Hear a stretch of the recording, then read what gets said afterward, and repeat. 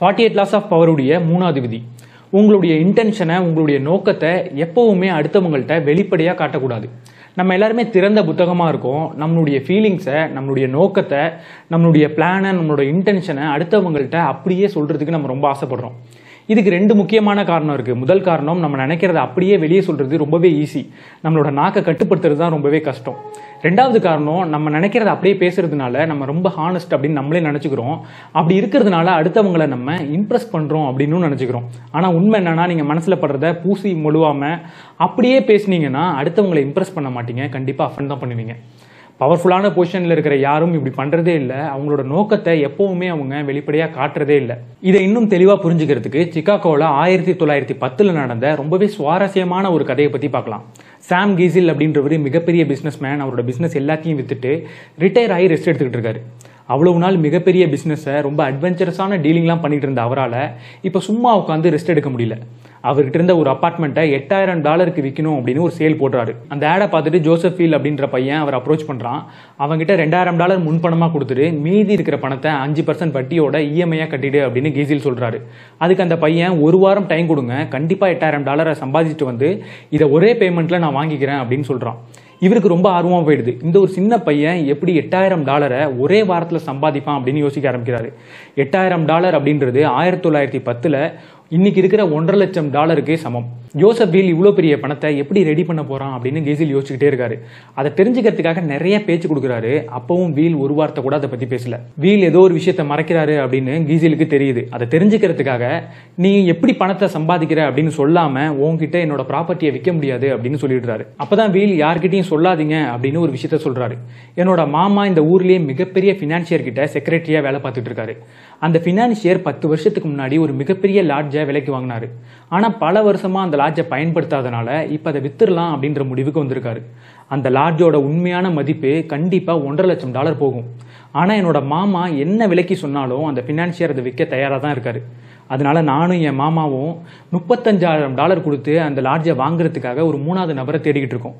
அந்த மூணாவது நபர் கிடைச்சிட்டாருன்னா அந்த லாட்ஜை முப்பத்தஞ்சாயிரம் டாலர் கொடுத்து வாங்க வச்சு அதை வாங்கினதுக்கு பிறகு மார்க்கெட்டில் ஒன்றரை லட்சம் டாலருக்கு விற்க போகிறோம் அப்படி விற்று வர ப்ராஃபிட்டை நாங்கள் மூணு பேரும் ஷேர் பண்ணிக்க போகிறோம் இதில் எங்கேயுமே நாங்கள் இல்லீகலாக நடந்துக்கல. அப்படி வர பணத்தால் தான் உங்களோட ப்ராப்பர்ட்டியை வாங்க போகிறேன் நீங்கள் என்னை நம்பலாம் அப்படின்னு சொல்கிறாரு கீசிலுக்கு ரொம்ப ஆர்வமாயிடுது. கண்டிப்பாக எப்படியாவது அந்த மூணாவது நபராக நம்ப ஆகணும் அப்படின்னு முடிவெடுத்துடுறாரு. வீல் கிட்ட சொல்கிறாரு என்கிட்ட முப்பத்தஞ்சாயிரம் டாலர் இப்போவே இருக்கு. நானே அந்த மூணாவது நபராக சேர்ந்துக்கிறேன் அப்படின்றாரு. வீலும் கொஞ்சம் யோசிச்சு பார்த்துட்டு ஓகே அப்படின்னு சொல்லிடுறாரு. அடுத்த நாள் காலையில் வீல் கெசில் வீலுடைய மாமா வீலுடைய நண்பர் ஒருவர் அந்த ஃபினான்சியரை பார்க்க போகிறாங்க ஒரு பெரிய ஹோட்டலில் அந்த டீலிங் நடந்துகிட்டு இருக்கு. அந்த டீலிங் பண்ணுறதுக்கு முன்னாடி எல்லாரும் குடிக்க ஆரம்பிக்கிறாங்க. அப்போ அந்த ஃபினான்சியர் வீலுடைய நண்பரை பார்த்து இவர் யாரு? அப்படின்னு கேட்குறாரு வீல் சொல்றாரு இவர் என்னுடைய நண்பர் மிகப்பெரிய பாக்ஸர் அப்படின்னு. அந்த ஃபினான்ஷியர் உடனே சிரிச்சிடுறாரு. பார்க்கறதுக்கு துப்பையும் தொந்தியுமா இருக்கான்? இவன்லாம் பாக்ஸரா அப்படின்னு கேட்டுறாரு. வீலுக்கு ரொம்ப கோவம் வந்துருது. ரெண்டு பேரும் வாக்குவாதத்தில் ஈடுபடுறாங்க. அந்த ஃபினான்ஷியர் ரொம்ப கோவமாயிடுறாரு. எனக்கு தெரிஞ்ச ஒரு பாக்ஸரை நாளைக்கு நான் கூட்டிட்டு வரேன். உன் நண்பனோட ஒரு பெட் மேட்ச் நடத்திக்கலாம். அந்த பெட் மேட்ச் முடிஞ்சதுக்கு அப்புறம் நம்மளோட டீலிங்கை பத்தி பேசிக்கலாம் அப்படின்னு சொல்லி வெளியே எந்திரிச்சு போயிடுறாரு. வீலோட மாமா ரொம்ப கோவப்படுறாரு. அப்ப வீல் இன்னொரு விஷயத்த சொல்றாரு. அந்த ஃபினான்சியருக்கு தெரிஞ்ச பாக்ஸர் என்னோட நண்பன் தான். அவனுக்கு கொஞ்சம் காசு கொடுத்தா போறோம் அவன் நமக்காக தோத்துருவான் அப்படின்றாரு. ஆனா பெட் கட்டுறதுக்கான ஐம்பதாயிரம் டாலர் வீல் கிட்ட இல்ல. அப்பதான் கீசில் இன்னொரு ஆப்பர்ச்சுனிட்டியை அங்க பாக்குறாரு. இப்ப இவர் கையில இருக்கிற ஐம்பதாயிரம் டாலரை அந்த மேட்சுக்கு பெட்டா கொடுத்துட்டாருன்னா அதுல இருந்து வர ப்ராஃபிட்டையும் இவர் எடுத்துக்கலாம் அப்படின்னு யோசிக்கிறாரு. அதனால தன் கையில இருந்த பணத்தை கொடுத்து அந்த பெட் மேட்சையும் அரேஞ்ச் பண்றாரு. அடுத்த நாள் காலையில் அந்த பெட் மேட்சும் நடக்குது. இவங்க நினைச்ச மாதிரி அந்த பினான்சியரோட பாக்ஸர் தோத்துக்கிட்டு இருக்கான். ஆனால் திடீர்னு என்ன நினைச்சானோ தெரியல. வீலுடைய நண்பனை ஓங்கி பலமா தாக்கிடுறான். வீலுடைய நண்பன் வாயிலிருந்து ரத்தம் கக்கி கீழே விழுந்துடுறான். அந்த ஃபினான்சியர் அவன் கிட்ட போய் அவனோட பல்ஸை பார்க்குறாரு அவன் செத்துட்டான் அப்படின்றது தெரிய வருது. உடனே தான் மாட்டிக்க கூடாது அப்படின்னு நினச்சி அந்த ஃபினான்ஷியர் அந்த பில்டிங்கை விட்டு வெளியே ஓடிடுறாரு. இதை பார்த்த கீசிலும் ரொம்ப பயந்து போயிடுறாரு. நான் கொடுத்த ஐம்பதாயிரம் டாலருக்காக இப்போ இங்கேயே இருந்தோன்னா கண்டிப்பாக பெரிய பிரச்சனையில் மாட்டிப்போம் அப்படின்னு நினச்சி அந்த இடத்த விட்டு ஓடி போயிடுறாரு. கீசில் அந்த பில்டிங்கை விட்டு வெளியே போன சில நிமிஷத்துலேயே கீழே செத்து கிடந்த வீலுடைய நண்பன் எந்திரிச்சு உட்காந்துடுறான் வாயிலிருந்து வலிஞ்சிக்கிட்டு இருந்த பொய்யான ரத்தத்தை தொடச்சிக்கிறான். அவர் கொடுத்துட்டு போன ஐம்பதாயிரம் டாலரை அங்கிருந்த எல்லாரும் சரிபாதியாக பிரிச்சுக்கிறாங்க. ஆனால் கீசில் அதுக்கப்புறம் வீலை பற்றியோ அந்த ஃபினான்சியரை பற்றியோ நினச்சி கூட பார்க்கல.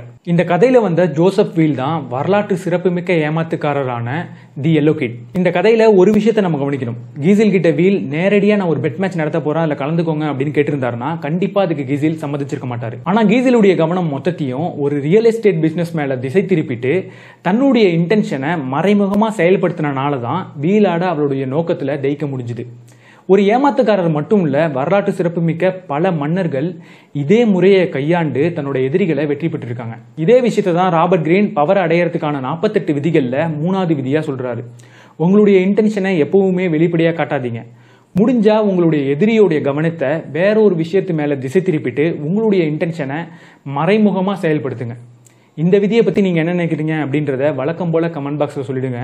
இந்த வீடியோ உங்களுக்கு பிடிச்சிருந்தனா லைக் பண்ணுங்கள் உங்கள் நண்பர்களோட ஷேர் பண்ணுங்கள் மறக்காமல் கற்க கசடுற சேனலுக்கு சப்ஸ்கிரைப் பண்ணி கூடவே பெல் பட்டனையும் ப்ரெஸ் பண்ணிவிடுங்க